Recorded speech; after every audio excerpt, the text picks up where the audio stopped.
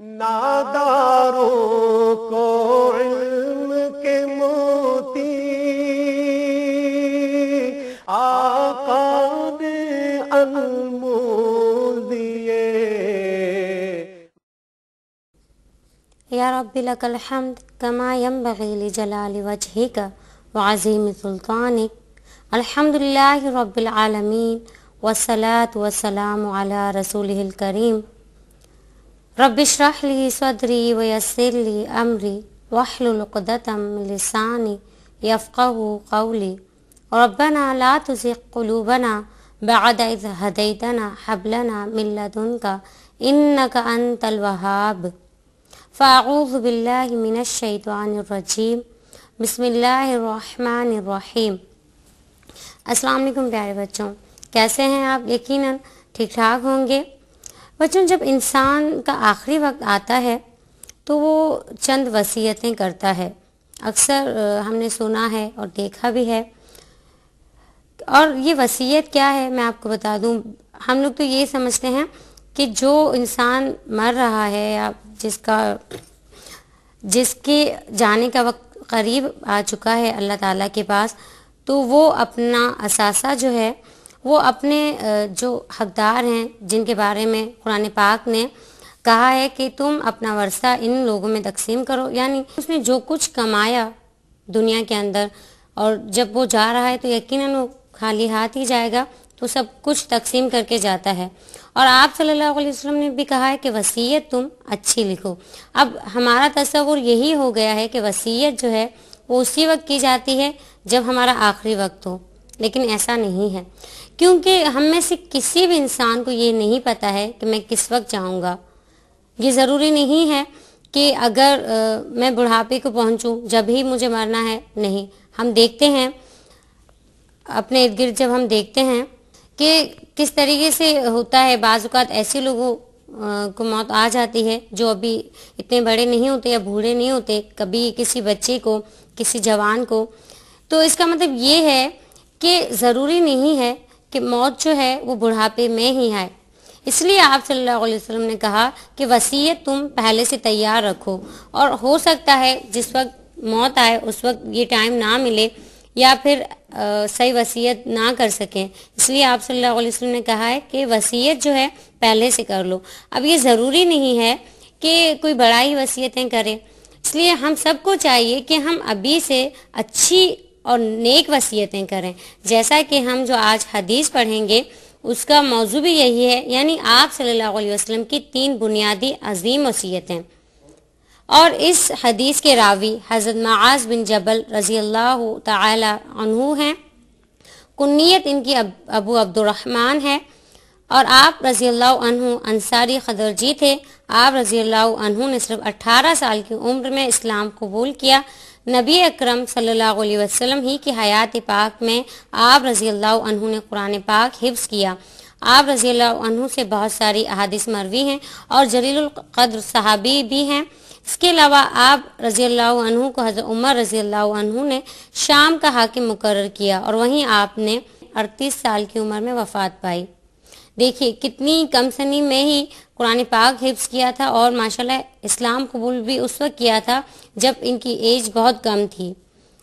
अल्लाह ताला हम सबको सहाबा कराम के अमाल पर चलने की तोफ़ी अता फरमाए उनके जैसे अमल अता फरमाए। आइए अब हम हदीस पढ़ते हैं।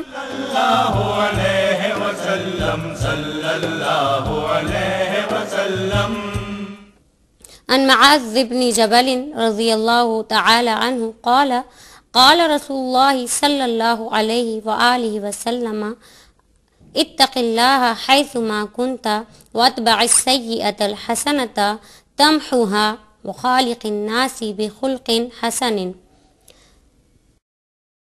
हदीस का बा मुहावरा तर्जुमा ये है अल्लाह से डरें जहाँ भी आप हों और बुराई के बाद फ़ौरन नेकी करें तो वो उससे मिटा देगी और लोगों से अच्छे अखलाक से पेश आए। अब हम इस हदीस के अल्फाज माने पढ़ते हैं और आप इनको याद भी किया कीजिए, क्योंकि जैसा कि मैंने आपसे कहा था, ये हम आप ही की आसानी के लिए इन अरबी के जो अल्फाज हैं, इनका हम उर्दू में तर्जमा करते हैं। देखिए है आप, पढ़ते हैं हम। इत्तक़िल्लाह, अल्लाह से डरिए।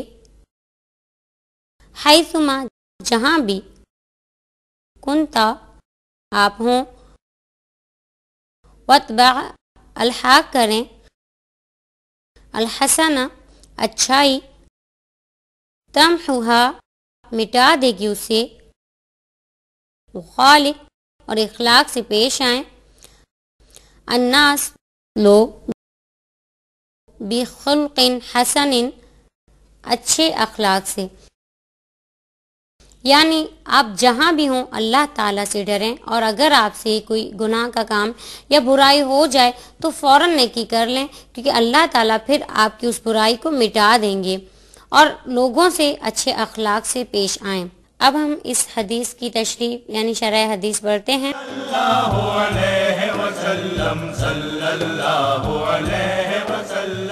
देखिए इस हदीस में आप सल्लल्लाहु अलैहि वसल्लम ने दर हकीकत तीन वसीयतें की हैं। और ये कहा जाए तो बेजा ना होगा कि तीन अजीम बुनियादी वसीयतें की हैं। और ये आप सल्लल्लाहु अलैहि वसल्लम ने अपनी उम्मत को बहुत पहले ये वसीयत कर दी थी। यानी इसका मतलब ये ज़रूरी नहीं है कि वसीयत जो है उस वर्षा के लिए ही हो। और इसके अलावा हम नेकी की वसीयत तमाम लोगों को कर सकते हैं। और इससे क्या होगा कि वो सदका जारिया भी हो जाएगा नेकी की वसीयत करना। और अगर आ, हम ज़िंदा हैं जब भी वो अमल जो है जारी रहेगा अगर हम किसी को नेक वसीयत करते हैं नेकी की तलकीन करते हैं और वो उस अमल को करता है तो इसके बाद क्या होगा? इससे ये होगा कि आपको भी उसका सवाब मिलता रहेगा और आपके सवाब में कमी नहीं आएगी। जैसा कि यहाँ पर आप सल्लल्लाहु अलैहि वसल्लम ने भी हमें तीन अजीम बुनियादी वसीयतों के बारे में बताया है। पहली वसीयत का ताल्लुक अल्लाह ताला से है। यानी जहाँ भी आप हों, आप जहाँ भी जाएँ, अल्लाह ताला का खौफ और डर हो। यानी तकवा जो है तकवा का मतलब मैं आपको बता दूँ तकवा का मतलब है परहेजगारी इख्तियार करने वाले बने हरदम अल्लाह का देहान हो। यानी हर वक्त हम जहाँ भी हों, हमें अल्लाह ताला का ख्याल रहे। ऐसा ना हो कि जब हम लोगों में हों, तब हम ये ज़ाहिर करें कि मुझसे ज़्यादा अल्लाह ताला से डरने वाला कोई नहीं है। दर हकीकत मज़ा कब आएगा जब हम अकेले में हों, और जब गुनाह हम कर सकते हों और हम ये सोचें कि हमें देखने वाला तो कोई नहीं हम आसानी से गुनाह कर सकते लेकिन उस वक्त एक सोच हो कि मेरा रब तो मुझे देख रहा है अल्लाह ताला तो मुझे देख रहे हैं। मैं अगर बंद कमरे में कोई हूँ और कोई बुरा, बुराई करना चाहता हूँ कोई नहीं है लेकिन मेरा रब तो देख रहा है। इसे कहते हैं तकवा। यानी उस वक्त भी अल्लाह ताला से डरना जब गुनाह करने के आसा जब गुनाह करने के इम्कान ज़्यादा हों और कोई ना देख रहा हो, लेकिन ये सोचना कि मेरा रब मुझे देख रहा है। और जहाँ भी जाएँ, से देखिए, अल्लाह ताला ने जैसा कि कुरान पाक में कहा है कि मैंने इस दुनिया को बहुत मुजयन किया है, बहुत ज़्यादा खूबसूरत बनाया है इस दुनिया को। अल्लाह ताला खुद कह रहे हैं। क्यों मुजयन किया है? अल्लाह ताला ने इसके बाद कुरान पाक में कहा, ताकि मैं देख सकूँ मेरे बंदों को। यानी मैं तलाश कर सकूँ कि इसमें मेरे बंदे कौन से हैं? यानी जो दुनिया की जीनत में डूबते नहीं हैं दुनिया की जीनत उनका कुछ नहीं बिगाड़ सकती ना वो इसके रंग में रंग जाते हैं। वो फिर भी आ, वो फिर भी मुझे याद करते हैं मेरे बारे में सोचते हैं और मुझे ही से डरते हैं। अब यहाँ पर डरने का मतलब ये नहीं है। अब यहाँ पर इतक इतकुल्लाह का मतलब लोगों ने यही ले लिया है कि अल्लाह से डरिए। ये ऐसी बात नहीं है अरबी जो है बहुत वसी है। इसका मतलब ये है कि आप अल्लाह ताला की तरफ़ ध्यान रखिए और अल्लाह ताला के बारे में सोचिए। देखिए जैसा कि मैंने आपसे पहले भी कहा था कि आज हम में से हर कोई ये चाहता है कि जिसके साथ मैं अच्छाई करूँ या जिसके साथ मैं अच्छे तरीके से रहता हूँ वो भी मेरे साथ अच्छाई करे। लेकिन जब आ, सामने से ये रिस्पांस हमें नहीं मिलता है तो कितना दिल दुखता है। तो क्यों ना हम अल्लाह ताला से मोहब्बत करें और ये सोचें कि मेरे रब ने भी तो मुझे इतनी नियामतें दी हैं, लेकिन मैंने उनका शुक्र अदा नहीं किया। अगर मैं लोगों से अच्छा सलूक करूँ तो मैं ये सोचकर क्यों ना करूँ कि मेरा रब राज़ी हो जाएगा? सिर्फ़ मैं अपने रब को राज़ी करने के लिए, उन लोगों को राज़ी करने की कोशिश करूँ। ये नहीं कि वो लोग भी मुझसे राज़ी हो जाए, नहीं। मैं ये ऐसा क्यों कर रहा हूँ? सिर्फ़ अपने परवरदिगार के लिए। इत्तकुल्ला, इसका मतलब यही है कि परहेजगारी इख्तियार करने के लिए, अपने रब के लिए। मुझे लोगों से कुछ नहीं चाहिए। मैं उसका ना बन जाऊँ जो मेरा है, जो मुझे देखता है। तो देखिए, दिल में कितना सुकून पैदा होगा। हम तमाम बातें भूल जाएँगे। दिल भी हमारा साफ़ हो जाएगा और दुनिया की रंजिशें जो हैं, वो ख़त्म हो जाएँगी। देखिए, दुनिया से हम जितनी मोहब्बत करेंगे, इतनी ज़्यादा तकलीफ़ बढ़ेगी। जैसा मैं हमेशा कहती हूँ कि दुनिया की मोहब्बत हमेशा तकलीफ़ देती है, लेकिन अल्लाह ताला की मोहब्बत हमें कभी तकलीफ़ नहीं देगी, बल्कि राहत और चैन ही देगी, सुकून देगी। दुनिया भी कामयाब है हमारी और आखरत भी। पहली वसीयत तो ये थी कि अल्लाह ताला से आप डरिए, और दूसरी वसीयत जिसमें अल्लाह ताला की रहमत का अजीम मजहर है, और जिससे पता चलता है कि अल्लाह ताला बहुत रहमान है, बहुत रहीम है, अपने बंदों पर नहायत नर्म है। अपने बंदों पर नहायत नर्म है। जैसा कि अल्लाह ताला ने कुरान पाक में कहा है, कतब रबुकुम अला नफ्स रहमा कि तुम्हारे परवदिगार ने अपने नफ्स पर नरमी लिखती है। तो यहाँ भी यही कहा कि अगर आपसे बुराई हो जाए, क्योंकि हम इंसान हैं, अगर हम, हमसे बुराई ना हो तो फिर तो हम फरिश्ते कहलाएँगे। अगर ऐसा होता तो अल्लाह ताला हमें फरिश्ते ही पैदा करते। अल्लाह ताला की इबादत हर वक्त जो करते हैं, हर वक्त अल्लाह ताला का ज़िक्र अजगार करते हैं, जो कभी अल्लाह ताला को नहीं भूलते हैं। तो अल्लाह ताला ने हमें अशरफुल मखलूक़ात क्यों बनाया है? क्योंकि हम अल्लाह ताला को एक मानते हैं और हम अल्लाह ताला से डरते हों। आज इंसान ये कहते हैं कि हम अशरफुल मखलूक़ात हैं, लेकिन अशरफुल मखलूक़ात का तकाजा कब पूरा होगा? जब हम सही मायने में अल्लाह ताला से डरेंगे।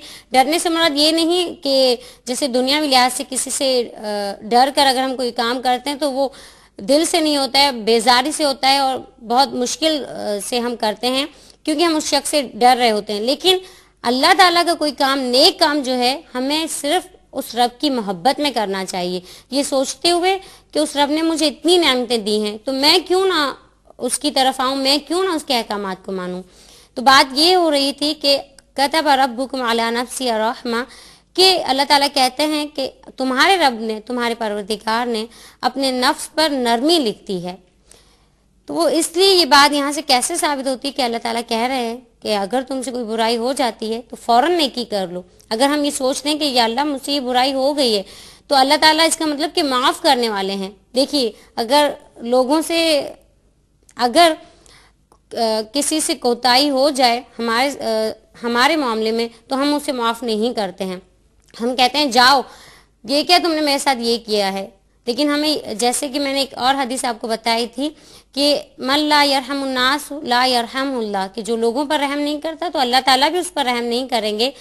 तो इसलिए इस उसमें बताया गया कि आप माफ़ कीजिए। जैसे यहाँ भी कि बुराई की उसके बाद फ़ौरन नेकी कीजिए। तो अगर कोई हमारे साथ भी बुरा सलूक करता है तो हम तो उसके साथ अच्छा ही रखेंगे माफ़ कर देंगे।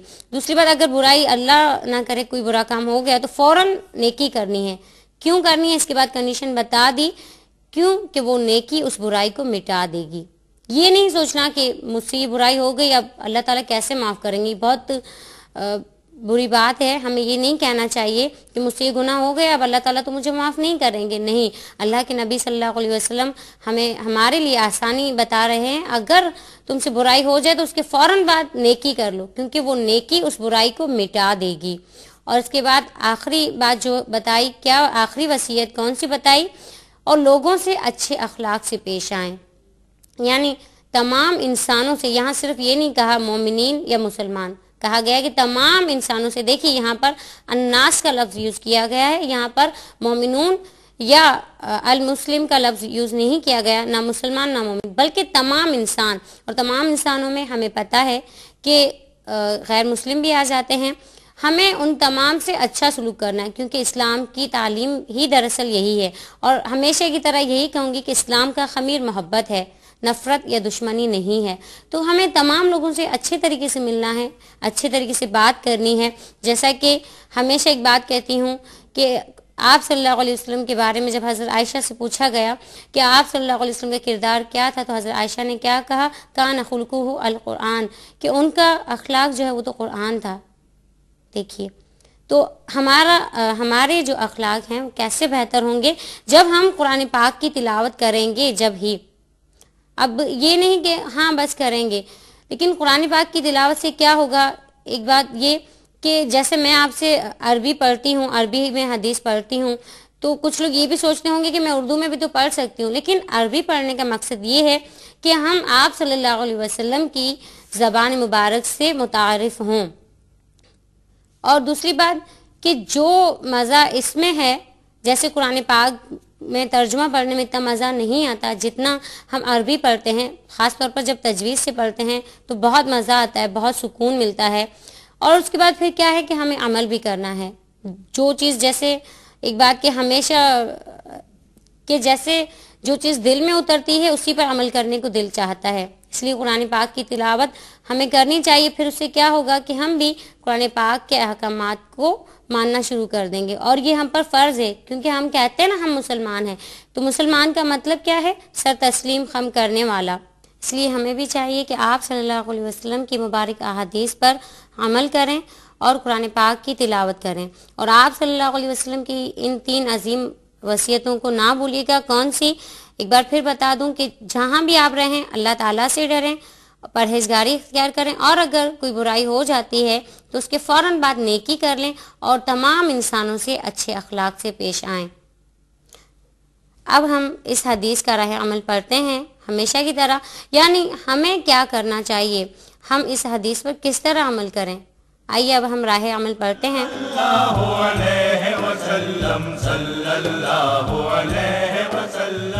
सबसे पहला राह अमल ये है, अल्लाह से डरें, जहाँ भी हों, यानी हर दम, अल्लाह का डर और खौफ दिल में हो। नंबर दो, हमें चाहिए कि बुराई, बजरिया, नेकी ख़त्म करें। नंबर तीन, तकवा तमाम अमाल की बुनियाद और क़ुरब इलाही का ज़रिया है। नंबर चार अखलाक के साथ पेश आना इस्लाम की अव्वलीन तालीम है, लिहाजा अखलाक को बेहतर से बेहतर करने की कोशिश करें। मुझे उम्मीद है कि आपने इस हदीस को बहुत गौर से सुना होगा, और उस पर अब इंशाल्लाह हम सब अमल भी करेंगे। स्क्रीन पर हमारा जो ईमेल एड्रेस आ रहा है, Nasreen Ahmed at the rate A R Y digital dot T V इस पर अपना फीडबैक ज़रूर भेजिए हमें। इसके साथ ही मुझे इजाज़त दीजिए। अल्लाह हाफिज़ असलकम वरहमतुल्लाहि वबरकातुहू। इस प्रोग्राम की सीडीज़ और डीवीडीज़ के लिए दर्ज झेल पते पर अपने ऑर्डर्स बजरिया ख़त या ईमेल बुक कराएँ। Incharge Q T V D one two zero site Karachi Pakistan. Email address Q campus at A R Y digital dot T V नादारों को इल्म के मोती। आका ने अनमोल दिए